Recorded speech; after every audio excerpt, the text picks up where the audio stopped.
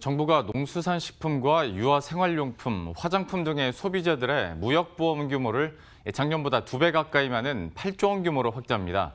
이 한류와 전자상거래 확산에 힘입어 최근 수출이 급성장하고 있기 때문인데요. 이 정부는 유망 소비재 품목들을 집중 지원해 수출 동력으로 육성하고 또 주춤하고 있는 우리 수출의 돌파구로 마련할 계획입니다. 염현석 기자의 보도입니다.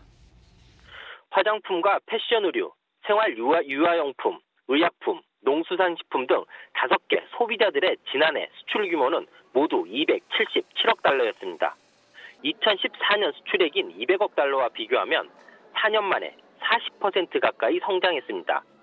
전 세계에 불고 있는 한류 열풍으로 인한 우리 소비자에 대한 인식이 개선되고 있고 스마트폰 등 모바일 기기 확산으로 인한 전자상거래 활성화로 구매 절차도 예전보다 간편해졌기 때문입니다.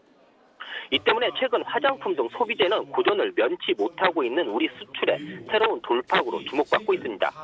정부 역시 이런 점을 인지하고 오늘 경제 활력 대책 회의를 열고 소비재 수출 활성화 방안을 논의하고 확정했습니다.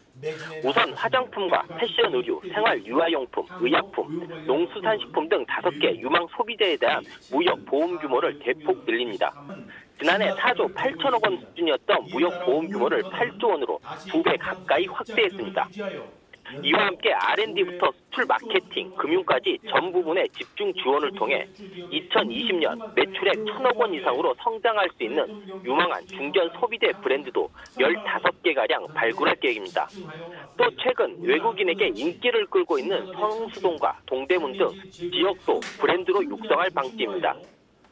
소비재 수출에 보이지 않는 장벽인 인증, 통관 역시 무역협회 등 관계 기관을 통해 주요국들의 인증과 규제들에 대한 정보도 제공할 예정입니다. 정부는 이 같은 지원책들을 통해 오는 2022년까지 화장품과 의류 등 다섯 개 소비재들의 수출액이 350억 달러까지 늘어날 것으로 전망했습니다. 머니투데이 방송 염현석입니다.